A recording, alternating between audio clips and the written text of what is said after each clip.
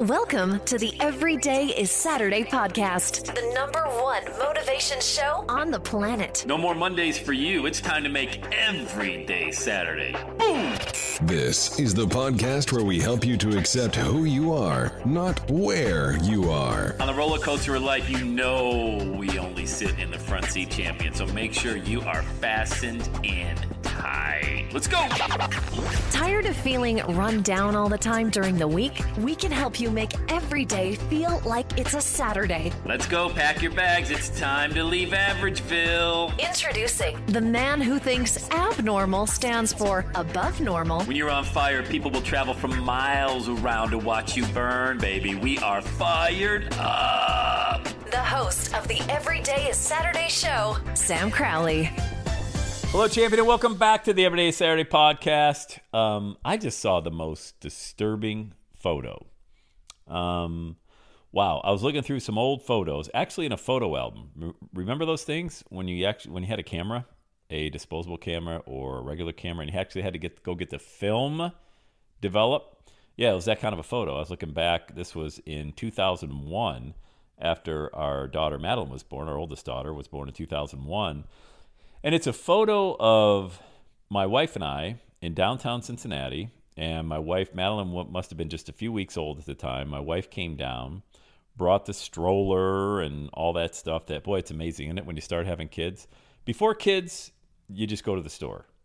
After kids, you got to load up the car like you're going on a cross country trip. You know, sippy cups and strollers and all these different things and diapers and it was it, i think that was the biggest eye opener when we had kids it's like hey hold on a second are we going on vacation or are we just going to kroger what's going on here anyway uh, my wife came down brought our daughter and we were just going to go to lunch and we walked across downtown cincinnati during lunchtime and we had a photo taken of us and i was in my suit and tie i had just gotten this ungodly bad haircut um, you think my haircut's bad now? You should see me back then. I got literally like a buzz cut, which wouldn't be bad if my face didn't look like somebody took a bicycle pump to the back of my head and just kept pumping for hours. Like I had this huge moon face, so fat, like so fat.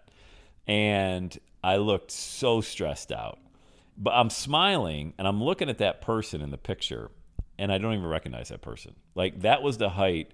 Not only was I unhealthy from a physical perspective, I was probably more unhealthy from a mental perspective. I was in a job that paid well. Never saw, you know, never saw my wife or our newborn child now working ridiculous hours for pennies on the dollar if you look at the amount of hours I put in. And I'm looking at that photo and I'm thinking, you're fat, but I know one thing, you are so depressed that I don't even know how you made it through that day, let alone that year, and how you came out of that darkness.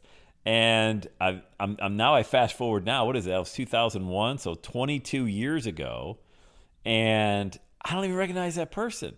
So there's a lot of things at work there. You know, a lot of lessons just looking at that. First of all, it's hilarious now to look back on, but it's also very depressing that thinking about what I tolerated. You know, we don't really get in life what we deserve, we get what we tolerate. And I was willing to tolerate being told where to go, what to do, how to act, how to talk, and all these different things in return for a paycheck that I got every week. So that was my tolerance level. And it could have gone even higher. And it did. I used to I kept going into work even earlier, working even harder.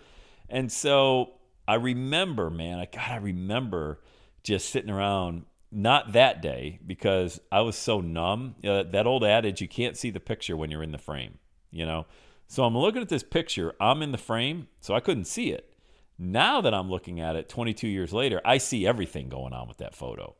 I, I, I see a very insecure individual who relied on the title of a job to justify my standing in this world, you know? And I didn't see it at the time I knew it's kind of one of those things you're so numb, you're almost like a zombie. You know what's going on around you, but you're so numb, it's like having an anesthetic or something. You know, if you go to yeah, you go to the dentist, you know that dude's in your mouth grinding away with some drill and who who knows what's happening with that root canal or something like that, but you can't feel it. You're just completely numb. That's where I was at that time. And then I started to come out of the anesthesia. And about a year later was when I started to think, no, no, no, no, no, there's this can't be it. I mean, this this this cannot be how my life ends up. I'm in my early to mid 30s. I'm out of shape mentally. I'm out of shape physically. I would have been more satisfied being out of shape physically, but I didn't want to accept being out of shape mentally. Know, I knew there was something that I more I could do with my life. And so that's when I, I hired a personal trainer, not right away. You know, for the physical part, I hired a personal trainer. I'd, I'd say about 18 months later, maybe less than that, maybe 15 months later, and I've never stopped working out since. Like I've always taken those principles that that gentleman gave me. This young kid, his name was Jared. I remember he used to meet me at the gym at 5:30 in the morning, and it, that's the time I had to get to the gym, or else I couldn't work out. And I was still felt like I was late for work when I got there at 7 a.m. Yeah, after my workout. It was only two days a week, but I took those basic principles and I used him a couple days a week when I wasn't working with him directly. By the way, 50 bucks an hour was the best investment ever. I thought it was more money than I ever had at the time. Like I can't pay you $100 a week. That's 400 a month just to what? Scream at me to tell me I need to do a push-up? Well, that's why you need a coach. Because once you learn from somebody who knows what they're talking about and can show you and then can teach you, you'll always have those principles with you long after that person leaves your life. Okay? That's lesson number 1 right there. Hire somebody because it's not about the transformation you experience at that moment, which can be huge, by the way, but it's about how you keep those with you for the rest of your life. Have you ever had a good mentor, like a really good teacher? I bet you still rely back on their advice and their strategies, no matter how many years ago that was, to get yourself through a certain situation or to improve on where you are. The mental part was the biggest biggest changer. And I, have talked about this recently in the show. I've mentioned a hundred times that I think I just mentioned a few episodes ago when I went to that real estate investment cattle call and ended up buying the seminars. It had nothing to do with the information. See, people think when they buy courses and coaches and things like that, they think they're buying the information. What they're really buying is the transformation. So if you're a coach or you're a consultant, you don't sell information. You sell transformation. That's what people really want. They don't care how many videos you got to watch. You can watch one, you can watch a hundred, doesn't matter. What am I going to get? How many Zoom calls? I don't care. Now, when I hire coaches, I don't care. Matter of fact, the less the better for me. I don't want to be, you know, beholden to a weekly Zoom call. We'll get on a call when I need a call. You know, that's the coaching that I purchase. Uh, I'll I'll get a hold of you when I need you. All right. You're busy. I'm busy. We'll figure it out. I'm looking for transformation. Don't care how much time of I got to watch a video or how many Zoom calls I get. I don't care at all about that stuff. Just the transformation. So I went to work after that real estate investment seminar that I purchased, and it had nothing to do with the great training they give they gave. It had to do with the mindset of the people that I was now in contact with that I'd never heard people talk like this before. You know, example, I'm at the seminar that I purchased, and one of the trainers, I was asking, "You really think I can make a half million dollars? Really?" He's like, Sam, you see that guy over there? Yeah. Does he look any smarter than you? And uh, so, just to describe, this gentleman was probably in his late 40s, uh, overweight, just describing, he was probably 5'10, 5'11, 250 pounds. So, belt buckle was a little big, is what I'm saying. And he goes, Does that guy look like uh, he's 10 times smarter than you? I go, Nope. Well, what would you guess he makes? And I knew the answer to the question he makes 10 times as much as you do right now. So at the time, I was probably making 60, 70 grand a year. He was making six to 700 grand a year, working a quarter of the time I was working, and he looked happy. You know, yeah, he wasn't in the greatest shape. I didn't judge him by the outside. I judged by the inside. That's what I was there for. Life's an inside job. I want to know what's going on inside. And that I'll never forget that. I can I could if if I had to have one of those professional like police sketch drawings done, you know, do you have an idea who the criminal was, the suspect? Can you can you vision or face? Can you give me a sketch drawing? Yeah, I could do it. I could sketch this dude out in a New York minute. And it was 22 years ago, you know? And that's the type of impact that that single sentence had on my life that don't judge people by the way they look. All right? They're not 10 times smarter than you. All they did was they learned a specific strategy, a lesson, something and they kept right there. They kept the magnifying glass over that. There's a reason I only do podcasts. There's a reason you don't see me posting on Instagram 10 times a day and LinkedIn and Facebook and TikTok. All those platforms work. Obviously, there's people doing very well on those platforms. I stay here. I love this platform. I love to podcast. I love to share a message. When the Spirit moves me, I've said it a thousand times. God gives me a message, I share it with you. Harvest the best, throw away the rest, you know? But man, when I saw that photo today, it it just stirred a lot of emotions. Not gonna lie, it stirred positive, negative. I can't believe it.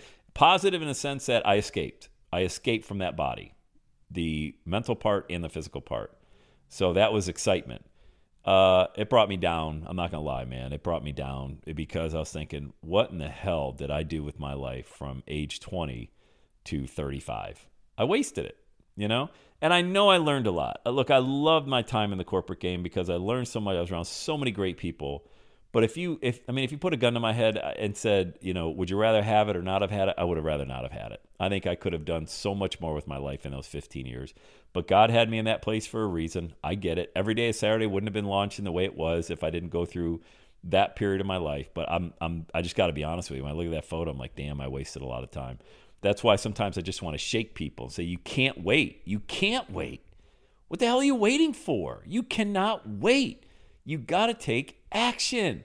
It doesn't need to be the perfect action. Imperfect action is great. Do that. Do something. Do anything. But don't keep doing what you're doing if you're not satisfied. All right. So that was an image. And the first thought that came to my mind is you cannot see the picture when you're in the frame. So take a zoom out right now. Take some time. Do you like where you're at? Do you not like where you're at? If you don't like where you're at, do something, anything, take action in a positive direction. It's not going to change overnight, but that transformation, I promise you, happens. Guaranteed. At what level? That's up to you. That's up to you. All right? Hope this message found you in a good spot. Hope it planted a seed in good soil. And make sure you share it with somebody who needs to hear it today. All right? Thanks for listening. Say it with me, gang. Have the best day ever. And that's a wrap. Another Everyday Saturday podcast in the books. Thanks so much for listening. Would you do your boy a favor? Would you get on iTunes or wherever you listen to the Everyday Saturday podcast and leave a rating for the show? It helps amazing people like you find the show faster. And that's what I'm looking for amazing people like you. Hey, I'm always hanging out on the interwebs. You can check me out on Instagram at Every Day is Saturday. Let me know you're listening to the show. Love, love, love, love hearing from fans of the Everyday Saturday podcast. And one last thing when you're ready to launch, get on my calendar, go to launchwithsam.com. You and I are going to work together to set rocket fuel to your dream. Are you ready? Let's do it. I'll see you on the next Every Day is Saturday podcast.